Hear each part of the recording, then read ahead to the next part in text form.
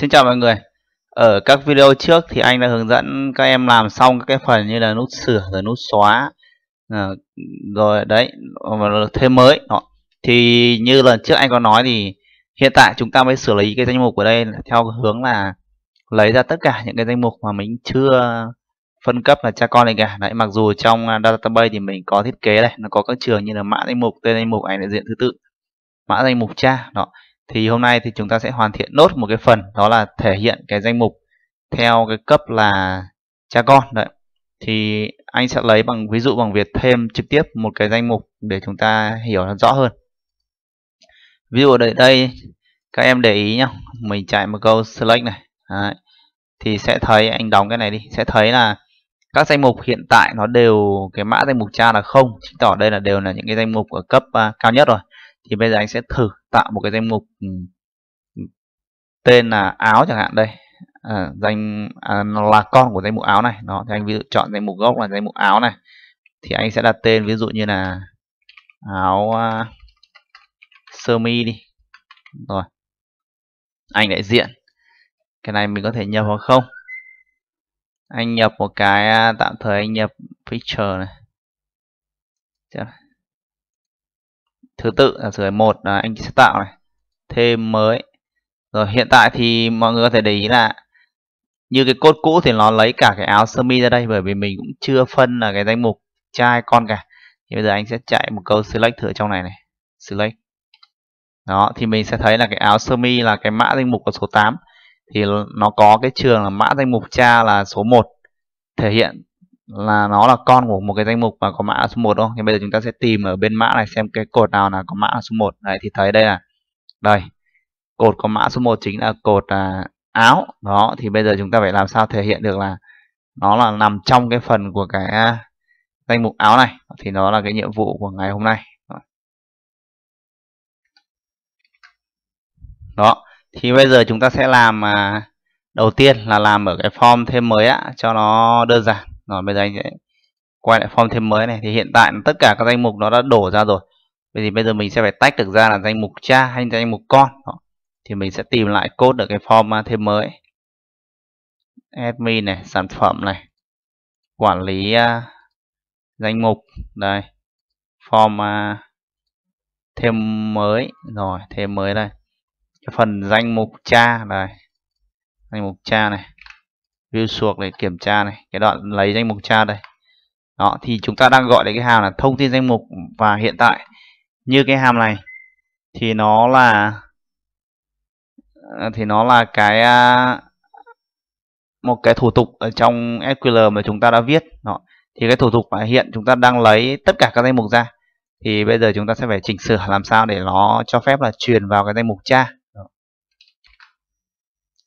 rồi thì bây giờ chúng ta sẽ chỉnh lại cái thủ tục đấy sẽ là cho thêm uh, truyền một cái tham số vào.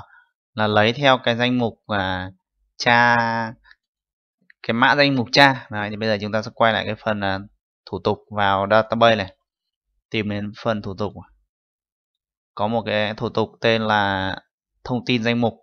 Chúng ta sửa thông tin danh mục select hôm nọ chúng ta có một cái thông tin danh mục by id à thế thì bây giờ anh sẽ viết một cái nữa là thông tin danh mục bài mã danh mục cha đây nhá. Đấy bài đây. Tức mình viết thêm một cái thủ tục nữa, chứ không không không hủy cái đầu đi. Mã danh mục cha này. Mã danh mục cha. Đấy. Chọn create này. Này mình sẽ truyền vào là cái à, mã danh mục cha. Rồi, select sao from danh mục where mã danh mục cha. Đấy, bằng cái biến mình truyền vào đây. F5 rồi. Đây là mình tạo xong cái phần thủ tục này. Mình quay lại phần code mình sẽ viết thêm một cái nữa. Anh sẽ copy cái phần ở này thôi thì nó cũng gần như nhau thôi. Phương thức lấy ra thông tin danh mục theo mã danh mục cha. Rồi. Mình sửa này mã danh mục cha này mã danh mục cha mã của danh một cha. Ví dụ truyền vào số 0 tức là vào số 0 thì là mình lấy tất cả những cái danh mục gốc đúng không? Vào số 0 này tức là lấy những danh danh mục gốc này. Để lấy các danh mục cấp cao nhất. Đấy, thường anh sẽ gọi nó là danh mục gốc cả rồi tên này tên anh sẽ đặt giống tên cái thủ tục. Thông tin danh mục bài danh mục cha này. Bài à, mã à, mã danh mục cha. Rồi tên thủ tục thì mình copy cái ở trong này cho đảm bảo chính xác cái tên thủ tục.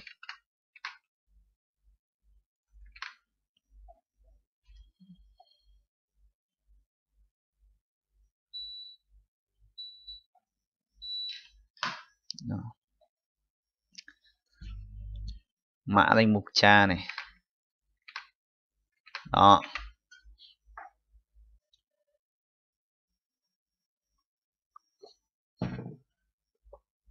Như vậy thì mình quay lại cái phần form à, thêm mới. Trong cái form thêm mới này khi chúng ta gọi cái lấy danh mục cha thì không gọi cái tất lấy danh mục này nữa, mà sẽ là thông tin danh mục bài à, mã danh mục cha. Đấy. bắt đầu mình sẽ truyền vào số 0 ví dụ anh thử chạy thử để nhìn kết quả luôn này. Ở đây chúng ta sẽ có một hai ba bốn. Bây giờ anh sẽ xóa bớt các danh mục đi nhé để, để quay về phần danh mục để mình xóa bớt đi mình làm cho nó dễ nhìn. Ví dụ anh xóa những cái thừa đi mấy cái test anh xóa đi. Áo này đó. Thì bây giờ mình chỉ còn danh mục áo và quần là danh mục cha danh mục sơ mi là danh mục con này nhá. À, áo quần đấy thì bây giờ kích vào thêm mới này. Đó nó chỉ hiện ra là áo và quần thôi. Thì bây giờ để muốn uh, thể hiện nhiều cấp thì mình sẽ lại lấy danh mục con tiếp. Đó trong uh, mỗi cái này anh sẽ gọi lại cái hàm là lấy danh mục con. Đấy, vào vào đây.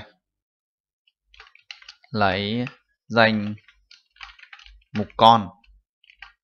Khi lấy danh mục con không? Thì chúng ta phải truyền vào cái trường mã danh mục cha đúng không? Đấy, thì mình truyền cái trường này vào. Mã danh mục.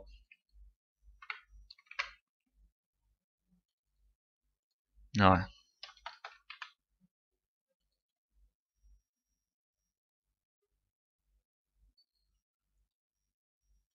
Đây là đấy, đây là hàm này danh mục cha này. Mã à, lấy danh mục con thì mã danh mục cha. Này mình cũng tương tự, data table này. Dt bằng à, new data table này.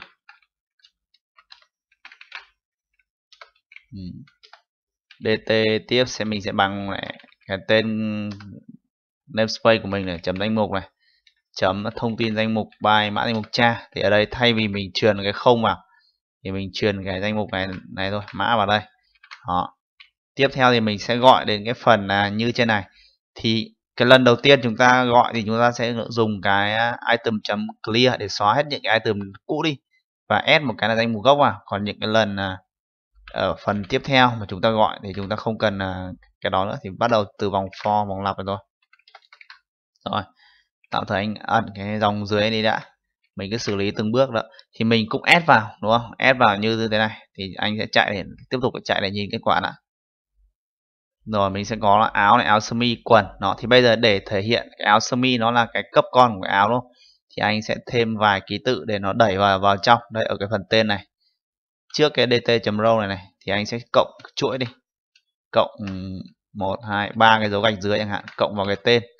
Để tí chúng ta nhìn sẽ thấy là nó sẽ đẩy vào trong một một chút để nhìn mình thể hiện được cấp cha với cấp con đó thì bây giờ mình thấy là cái áo này xong áo sơ mi nó thụt vào trong đúng không? Đó bây giờ anh sẽ lại thử tạo một cái danh mục nữa là con của cả áo áo sơ mi đi anh thử thôi nhá. Áo sơ mi này ừ, ví dụ như là áo quần à. Rồi anh thử áo sơ mi nam đi. Đấy tiếp một cái một này. Áo đấy, đã tạo áo sơ mi nữ này. Hai. Rồi, bây giờ kích lại này. Chúng ta sẽ nhìn thấy là áo sơ mi. Rồi, hiện nó chưa hiện ra cái cấp con đúng không? Bởi vì chúng ta viết cái hàm này mới lấy cái danh mục cấp 2 thôi. Đó. Thì bây giờ chúng ta sẽ lại như ở đây. Đúng không? anh gọi lại cái hàm này. Ở đây sẽ gọi, cái cách này gọi là đệ quy, tức là cái hàm này tự gọi lên chính nó. Ví dụ như là chúng ta gọi, lấy danh mục con. Trong lấy danh mục con lại gọi lên chính nó và truyền vào cái mã à, danh mục cha chính là cái mã của những cái danh mục hiện tại này. Tức là gần như là chúng ta có thể hiểu là vòng lặp thứ nhất thì nó lấy ra là áo quần này. Sau vòng lặp thứ hai nó sẽ kiểm tra là trong áo có cái con không thì nó lấy ra những cái áo. Đấy, ví dụ lấy cái con của áo là áo sơ mi. Vòng vòng lặp thứ ba nó sẽ kiểm tra tiếp những cái ở cấp trong nữa là có có danh mục con không. Nếu có danh mục con thì nó cứ thế nó gọi đến bao giờ hết thì, thì thôi. Đó rồi. Refresh này đó, rồi áo áo sơ mi áo sơ mi nam sơ mi nữ. Rồi đã lấy được danh mục con thì nó lại xuất hiện một vấn đề nữa đó là cái cái này đúng không? Chúng ta lại cần phải cho nó thụt vào một cấp nữa đó, đó. thì làm sao để nó thụt vào một cấp nữa? Rồi thì cách của anh làm là như này. Cái lần lấy danh mục đầu con đầu tiên vào thì anh sẽ truyền một cái à, mã đây đúng không? Một hai ba cái chấm này ăn đi. Rồi string khoảng cách đi, khoảng cách ừ, anh đặt một cái biến đây. Đó, thì cái lần này anh sẽ truyền vào cái biến, chính là cái biến khoảng cách này. Đó, thì ở lần gọi tiếp theo đó, nếu mà chúng ta vẫn truyền vào cái khoảng cách đấy, đúng không? Thì nó chỉ vẫn là một cái, một một cái dòng này đúng không? Thì chúng ta sẽ truyền vào một cái dòng này, cộng với một cái này nữa cộng với chính chính chính nó nữa tức là mình mình tăng thêm một cái gạch này lên. Thì cứ mỗi lần chúng ta lặp lại đúng cái biến khoảng cách này nó lại được cộng thêm một cái gạch này để, thì nó sẽ tăng thêm. Đó, áo sơ mi này, sơ mi nam, sơ mi nữ để anh anh tạo thêm một cái về cái quần để cho nó thể, để để chúng ta nhìn được rõ. Ví dụ như là quần bò này, số 1 này, quần Âu là hai đi đó, kích lại vào đây để xem danh mục. Đó như vậy là chúng ta đã thể hiện được đúng danh mục luôn. Áo này áo sơ mi là cấp con này. Trong áo sơ mi có sơ mi nam sơ mi nữ này quần này thì cũng quần bò quần âu đó. Rồi thì đây là cái phần thêm mới thì chúng ta đã tạo được đúng như các cấp rồi. Thì bây giờ sẽ quay ra phần hiển thị đúng không? phần hiển thị hiện tại đang lấy ra tất cả các cấp luôn thì như vừa rồi anh có nói thôi là chúng ta vừa viết mấy cái hàm này thì bây giờ chúng ta sẽ quay lại để dùng phần hiển thị này lần đầu tiên.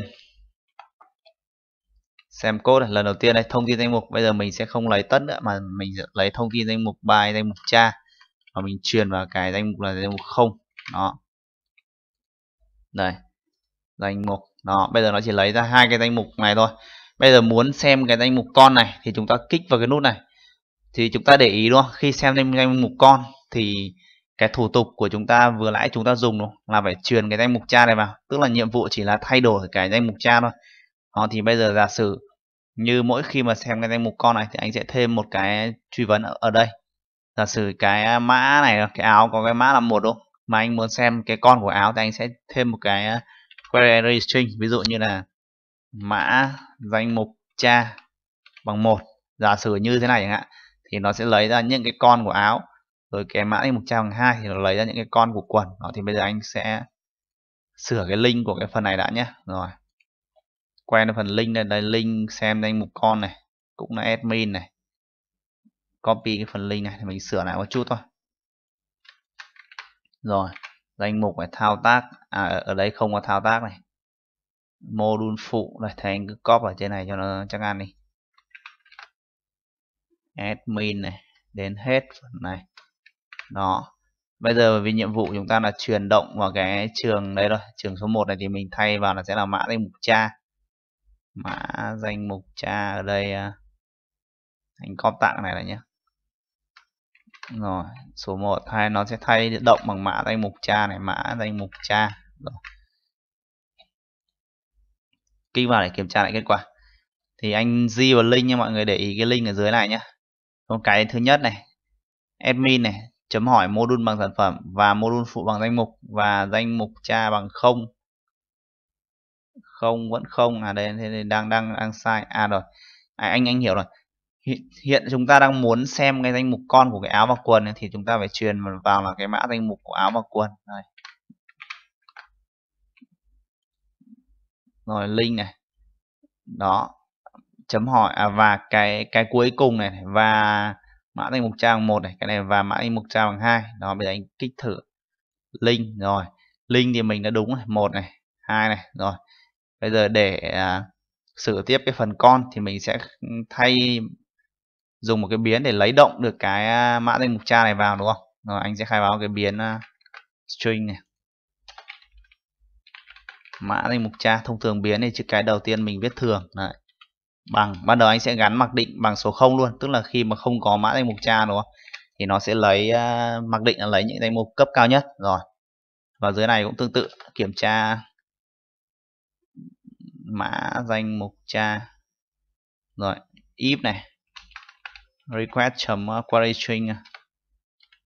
Cái mã danh mục cha. Rồi nếu cái query string này khác null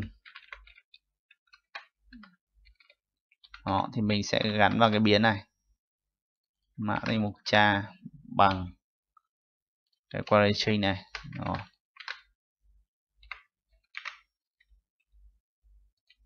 anh sửa lại một chút nhé. Ở đây ờ, tên các query string thì anh đều viết thường này.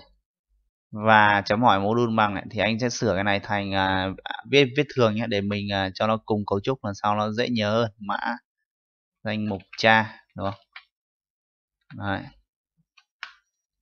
thì anh sẽ quay lại anh sửa cái link này đã. Và này mã danh mục cha bằng đấy. Rồi sửa lại link rồi. Chúng ta kiểm tra lại cái link đã. Và mã danh mục cha một và mã danh mục cha bằng hai. Rồi lại bây giờ quay lại code. Thì mình sẽ lấy cái query string à, mã danh mục cha này. Rồi. Bây giờ mình sẽ nhiệm vụ là truyền động cái mã danh mục cha vào trong này. À. Đó. thì như thế này đúng không? Thì khi mà anh vào một cái link đầu tiên là link danh mục sản phẩm này thì nó chưa có cái mã danh mục cha đâu thì cái biến này nó đang được gắn mặc định bằng số 0 nó truyền vào cái hàm này. Tức là chúng ta lấy những cái danh mục có cái danh mục cha bằng số 0 tức là lấy cái danh mục mà cấp uh, cao nhất ra. Rồi sau khi đó anh kích vào à, cái dấu này tức là xem những cái có mã danh mục tra bằng một. Đúng thì mình sẽ tìm những cái nào có ra mã danh mục tra bằng một một áo sơ mi này. Đấy chỉ áo sơ mi thôi. Tự thì uh, khi đó thì cái link ở trên này nó sẽ là và mã danh mục tra bằng một. Đúng không? Mình sẽ kiểm tra và gắn vào code này.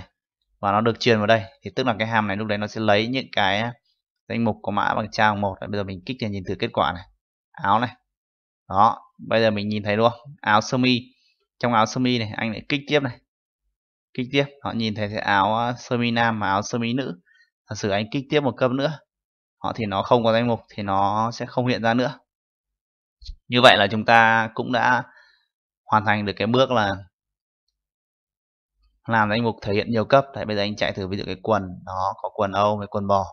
Rồi thì bây giờ để nó có gọi là thêm một cái tính cho nó tiện ích cho nó dễ nhìn nữa thì anh sẽ sửa là những cái danh mục nào mà có danh mục con thì mình mới hiện cái nút này này, này lên. Thì bây giờ anh sẽ viết một cái hàm này là kiểm tra danh mục con. Rồi. Bool này để kiểm tra true hay false anh thường dùng kiểu à, kiểu bool tức là nó nó chỉ trả về giá trị là true hoặc false đúng hoặc sai này là có danh mục con. Truyền vào cái biến là mã danh mục cha.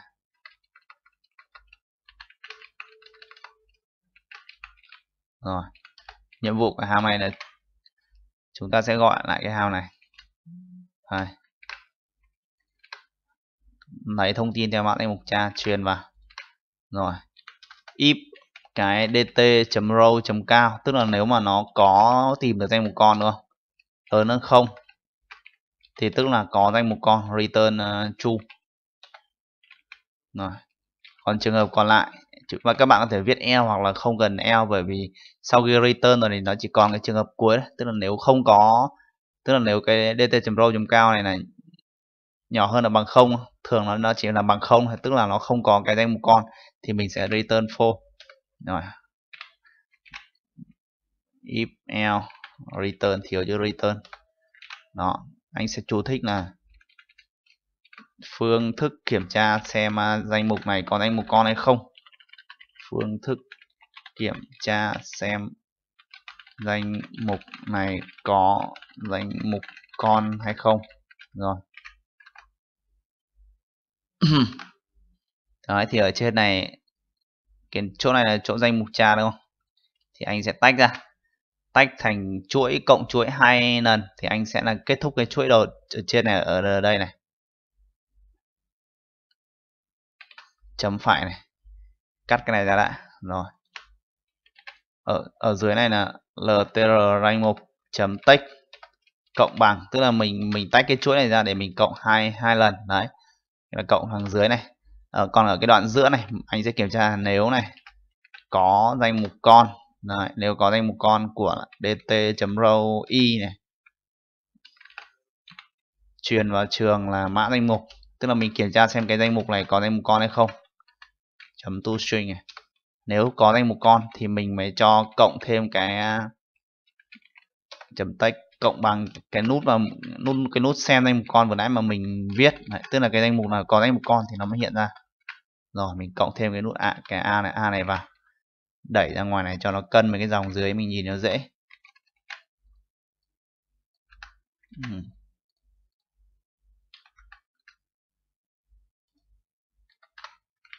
Đó. Rồi anh chạy lại này sẽ thấy này. Danh mục. Rồi cả áo và quần đều có danh mục con anh kích một quần này. Đó, thì hai cái này không có nút danh mục con nữa nên nó không không hiện nữa, đúng không? Quay lại thử vào áo này. Rồi, đấy, áo sơ mi có này. Đấy, đây là các cái danh mục cuối. Rồi, như vậy là mình xong cái phần hiển thị rồi, thì bây giờ nó có một phần nữa. Đó là phần à, khi cập nhật. Không biết anh đã xử lý chưa? Thì bây giờ anh cứ kiểm tra cho chắc. Tức là khi anh cập nhật cái quần bò chẳng hạn, thì nó phải chọn cái, nó có cái trường à danh mục cha này, đúng không? Thì nó phải chọn đúng là quần. Đấy, để nó để lúc mình cập nhật nó không không bị sai thông số đi. Rồi để anh thử nhá. Quần bò này. À đây như vậy là hôm trước thì anh à, đã xử lý rồi. Tức là nó đã điền đúng danh mục cha của nó rồi. Ví dụ anh à, quay lại đây áo này áo sơ mi này sơ mi nữ này anh thử cập nhật. Rồi nó đã chọn đúng danh mục áo sơ mi rồi. Bây giờ anh thử chuyển nó sang phần quần này. Chỉnh sửa. Đó vào quần sẽ thấy. Nó nó nó được chỉnh trong phần quần rồi bây giờ mình chỉnh lại rồi cập nhật, chọn lại về phần à, áo sơ mi. Rồi, áo này, áo sơ mi. Đó, như vậy là trong cái video này thì chúng ta đã hoàn thiện cái việc thêm mới cũng như là hiển thị, chỉnh sửa sản phẩm mà có thể hiện được à, các cái cấp à, cha con hay là nhiều cấp. Đó, thì sau khi hoàn thành cái phần danh mục này thì các bạn sẽ làm tiếp cái phần này cho anh này. Quản lý màu này quản lý chất liệu quản lý size. Thì ba phần này thì nó cốt nó tương tự như cái phần sản phẩm ở mức đơn giản tức là giống như phần sản phẩm mà chưa làm cái phần à, à, danh mục cha con này. Bởi vì màu thì nó chỉ giả sử nó hiện ra các màu như là chúng ta quản lý là có màu đỏ màu xanh màu đen gì gì đấy không? Chất liệu thì là vải hay là gì gì đó. Size cũng thế tức là nó chỉ là những cái trường một cấp và nó không thể hiện cấp mà cha con. Thì các bạn chỉ làm nó dừng ở các cái video như là các video trước anh các video mà anh hướng dẫn đợt trước thôi tức là mình thêm mới chỉnh sửa và xóa. Thế là xong không cần phải làm cái phần là cha con này. Đấy thì là xong những cái phần màu chất liệu sai phần nhóm thì cũng tương tự như vậy. Đấy riêng ở trong các module này thì chỉ có phần là danh mục là nó có nhiều cấp thôi. Đó, thì sau khi tạo hết những cái thông tin phụ như là danh mục này màu chất liệu size và nhóm thì chúng ta sẽ đến cái phần là tạo sản phẩm. Đó, bởi vì trong uh, tại sao mà chúng ta lại phải tạo sản phẩm cuối thì chúng các bạn sẽ để ý trong cái database của mình. Thì cái bảng sản phẩm chọn design sẽ sẽ thấy này. Bảng sản phẩm các bạn có để các cái trường ví dụ như là màu ID này size ID này chất liệu ID này nhóm ID đấy tức là phải có những cái à, bảng về màu size chất liệu nhóm thì chúng ta mới có cái cái trường khóa phụ này để chúng ta cắm vào cái bảng sản phẩm. Vì vậy là phải tạo những cái kia trước rồi mới tạo được sản phẩm. Đó sau khi tạo được à, các cái phần màu size rồi nhóm sau này tạo sản phẩm như vậy là chúng ta đã hoàn thành cái phần à, quản trị cho module sản phẩm. Thì các cái module khác thì các em cũng làm tương tự thôi. Thì anh nói qua luôn ở đây thì ví dụ như phần à, khách hàng thì đầu tiên như uh, anh xem lại trong database là khách hàng à? mã tên địa chỉ à? Cái phần à, khách hàng ở đây thì như trong database này là thiết kế là để phục vụ cho việc đặt hàng, chứ không phải là chúng ta quản quản lý. Vì vậy sẽ không có phần thêm mới khách hàng nhé. Bởi như anh nhìn đây, anh sẽ thấy là mã khách hàng tên, khách hàng địa chỉ, số điện thoại, email thì có thể là các em à, phục vụ cho việc là khi mà chúng ta đặt đặt hàng đúng không? Thì khách hàng sẽ phải điền các cái thông tin này vào để mình gắn với với với cái hóa đơn. Vì vậy là mình chỉ cần có cái phần danh sách khách hàng để sau này khách hàng mà đặt hàng đó thì mình sẽ kích vào danh sách khách hàng. Mình nhìn thấy uh, các cái danh sách khách hàng nó hiện ra ở đây. Tức là mình chỉ cần cốt cái phần là hiển thị thôi không cần làm thêm mới ừ, hay là chỉnh sửa. Đối với phần tin tức thì làm mà giống như bên sản phẩm. Ở đây nó sẽ là quản lý danh mục sản phẩm này à, à, quản lý danh mục tin tức ở dưới là quản lý danh sách tin tức. Tức là nó tương tự về cái phần danh mục và danh sách sản phẩm. Không có phần màu miếng gì cả đấy. Thì các em cứ làm xong phần sản phẩm thì gần như chỉ cần à, sao chép cốt một tí thôi là xong cái phần tin. Tài khoản. Tài khoản thì phức tạp hơn một chút thì anh sẽ hướng dẫn có một cái video, video hướng dẫn thêm về phần tài khoản. Đấy, thì cũng chỉ ở mức là thêm mới chỉnh sửa thôi xóa Đấy, khó nhất thì anh nghĩ là vẫn là cái phần quản lý về sản phẩm các cái phần khác như là quảng cáo hay là menu thì anh sẽ hướng dẫn ở những cái video tiếp theo. Đấy, thì nhiệm vụ của các em là sau cái phần xem video này thì à, hoàn thiện cho anh về màu, chất liệu, size và nhóm. Đấy, thì anh sẽ hướng dẫn tiếp phần là thêm mới sản phẩm và sau đó là hướng dẫn sang cái phần tài khoản, quảng cáo, menu. Đấy, là hoàn thiện cái phần là quản trị. Sau đó chúng ta sang code à, cái phần hiển thị. Phần hiển thị thì nó đơn giản hơn nó chỉ có, gọi là, phức tạp về cái mặt giao diện thì chúng ta đã cắt HTML CSS rồi. Còn lại cái phần hiển thị nó chỉ đơn giản như là chúng ta làm cái trang danh mục sản phẩm này thôi, đúng không? Kích vào một cái danh mục nào đó thì hiển thị ra các cái sản phẩm trong danh mục nào đây rồi kích vào một sản phẩm thì nó hiển thị ra thông tin chi tiết đó thì cũng rất là dễ thôi. Rồi anh xin à, kết thúc cái video này đây. Chính hết.